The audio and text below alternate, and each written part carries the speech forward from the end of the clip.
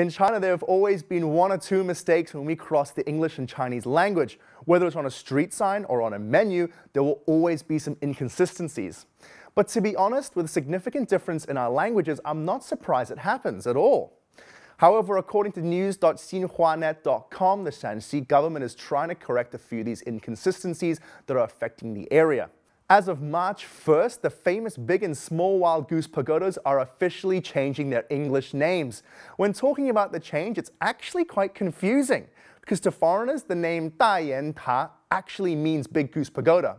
However, the yan represents a goose we're used to and not the ones found in China, meaning that actually in China, it's not a goose. It's actually a kind of animal that looks like a bird.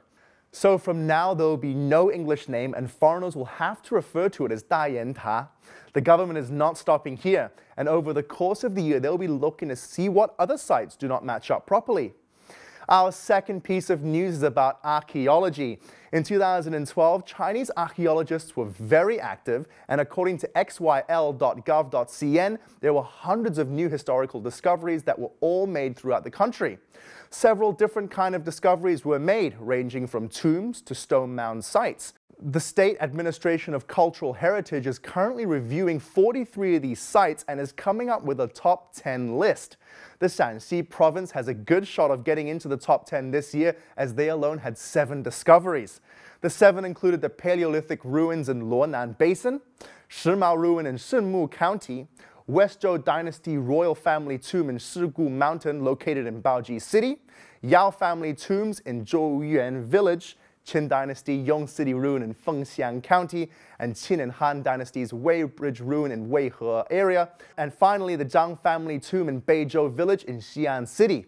I wish all of them luck and hope all of them can be open to the public ASAP. Okay, next up, let's check out a temple fair. Although many temple fairs were held during the New Year festival, there is still time for one more. Compared to Chinese New Year, where temple fairs celebrate happiness, this one will celebrate health. According to snxinhuanet.com, on the second day of the second month on the lunar calendar, which is March 12th for us, there will be a two-week-long temple fair that will take place in Yaowang Mountain located in Tongchuan City. The name of the mountain Yao Wang literally means king of medicine, and the reason it is called this is because of a few reasons. One is that this area is famous for having a lot of medicinal herbs and plants that are still used in today's medicine, and the other because of a doctor called Sun Simiao who used to live here. Sun Simiao, who lived here during the Tang Dynasty 1400 years ago, was like a savior in this time as he saved thousands of lives with what he used around him. The temple fair's primary purpose is to promote good health, so over the two-week period there will be exhibitions and programs that give you information about how to keep healthy. Okay, that's it for today's show. As I mentioned in our last episode, springtime is short.